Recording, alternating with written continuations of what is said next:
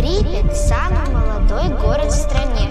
Средний возраст жителей всего 26 лет, и по рождаемости мы первые.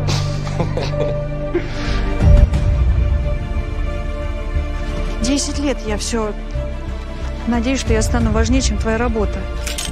Не надо ничего говорить, я и так все знаю. Ну, вы представляете себе, как работает ядерный реактор? Взорвать станцию невозможно ни практически, ни теоретически, ни даже в кошмарном сне. Это что? Уровень радиации в районе станции повышается.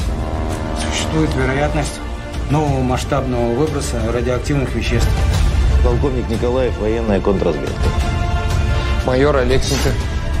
У городских партийных органов сложилось устойчивое мнение, что имела место диверсия. Сотрудник американского консульства Альберт Ленс. Опытный разведчик, он просто так рисковать не будет. В Припяти люди даже не представляют, какой опасности они подвергаются. Действуй по обстановке.